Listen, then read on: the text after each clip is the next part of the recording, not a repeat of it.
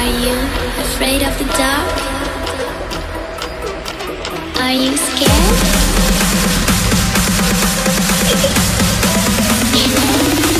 I am you. What's up everyone? Thank you very much for tuning in to youtube.com slash Itachi. Very, very, very, very quick video here on uh, Crash Bandicoot N. Sane Trilogy. So a couple of you um, on social media mainly, because uh, I have yet to release my episodes on uh, Crash Bandicoot, have been asking me how do you unlock uh, Coco?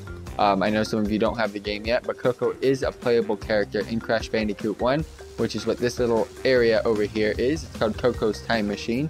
Now going back to the beginning, um, at level 1, uh, once you've completed N. Sanity Beach, Jungle Rollers, the Great Gate, Boulders, Upstream, and the first boss, Papu Papu. After you've completed Papu Papu, this little area will be available.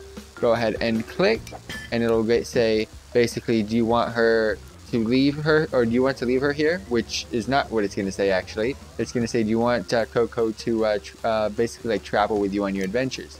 So you want to click yes.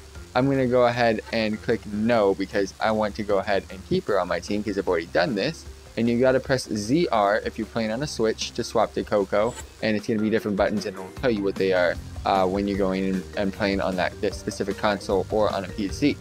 Now if I click ZR, as you guys can see, we can now play Coco. However, Coco cannot play on certain maps. So just letting you guys know. Um, one map that I did know that she was not playable on would be a map such as Hog Wild, which is the the map where Crash Bandicoot is required to go ahead and ride a hog through the beginning to the start of that map. So she's not available on that map, but she's available on most maps. So if you guys want to go ahead and play as Coco, not much of a difference. I've been asked, is she any better than Crash Bandicoot? Nope, there's no difference. It's just a physical appearance difference. Does the same exact abilities. I noticed nothing different. So go ahead and play Coco if you want to go ahead and play as her.